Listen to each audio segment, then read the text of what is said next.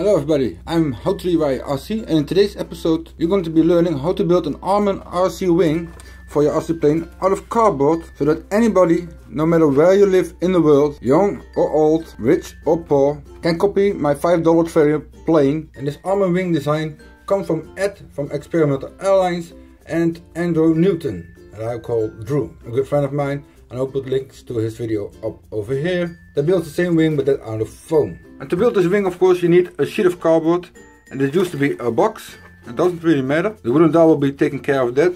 But you just need to make sure that the lines are running horizontally to make it easy to fold the wing the way we like it. And of course you need a wooden dowel. I have a square one, you can use a round one, but I like to use a square one because it's more flesh that is contacted with the cardboard. To make sure you may always make 90 degrees lines or they are always 90 degrees, nice and straight so everything is even. You want to use this little tool, I forgot the name, and of course a pen and a measurement tool and the bigger the better. It's always nice to have one that is extremely long. And then to make it really kid proof, you're going to use wood glue and scissors instead of a sharp Stanley knife and some hot glue. And of course, the most important thing you can't go out within life is tape. And let us not wait any longer and let's get to it. And the width, the core of the wing is 15 centimeters. And then we need an extra few millimeters to make this curve.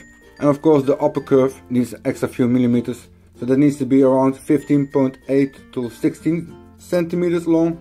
And then we need an extra 4 centimeters for the aileron. You can also build the same wing design with reinforcement in front and in the rear of the wooden dowel to make sure it's more durable, but it also adds a lot of extra weight.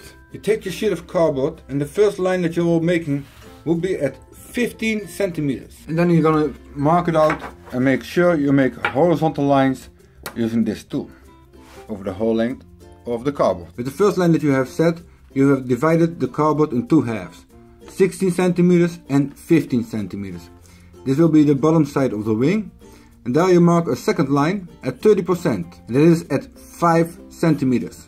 So at 5 centimeters from the middle line, you put a second line. And this is where Andrew Newton likes to put his wooden dowel. I prefer to put it a little bit in between 30% and 25%, so I set a line of 30% and I just put it in front of the 30%.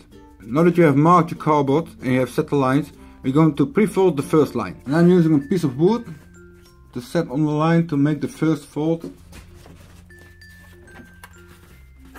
You just need to make sure that the wood stays in its place. If you don't get that right, as you already can see, we made the fold at the wrong place. We want this fold to be in front of the line, not at the rear. Tip number one, use wood clamps to clamp it down to your table so you make sure the wood don't move.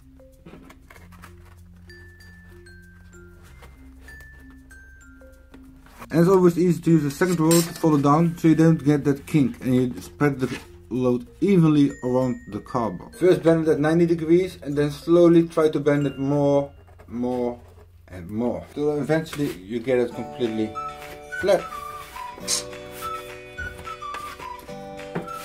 And then press really hard down on that first leading edge. And you want to repeat this process a couple of times, moving every time 5 millimeters to make the first curve of the wing. Now we have finished pre-bending the front leading edge, it's time to glue down the wooden dowel with some wood glue. And of course you cannot hold it here forever, so we're gonna use the wood clamps again to stay it in its place, or you can add some stones or heavy weights to put pressure on top of it. Welcome back to a new day. Overnight we have dried out the wood glue. Now it's time to add wood glue on top of the wooden spar and then fold down the wing. Make sure the end points touch each other. If they don't, pull them towards each other to make sure it's a flat surface and the wooden spar will be sitting right at the correct place. And then use some scotch tape to hold the bottom and top plate together.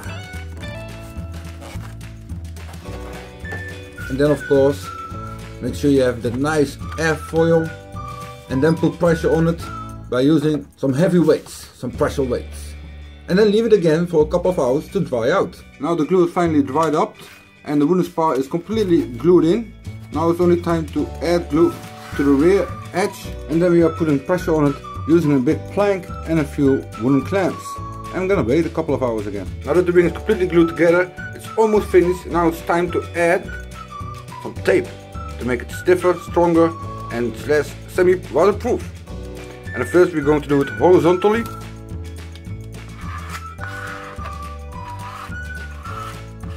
The next step after we have taped the wing horizontally, now we have to do it vertical.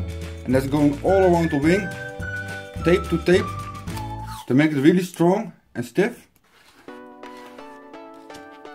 you do this row for row for row, whole wing, or you do this a couple of times, spread out over the wing. And it will make the wing a lot stiffer and protect your spar from breaking. The last step is cutting out the elevator that is the same length, 50 centimeters, and it is 4 centimeters wide.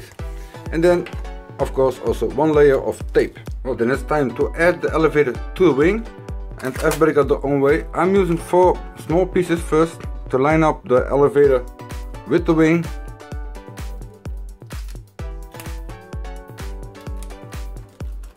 And then we're going to add three layers of horizontal tape. The first one right on top of the edge.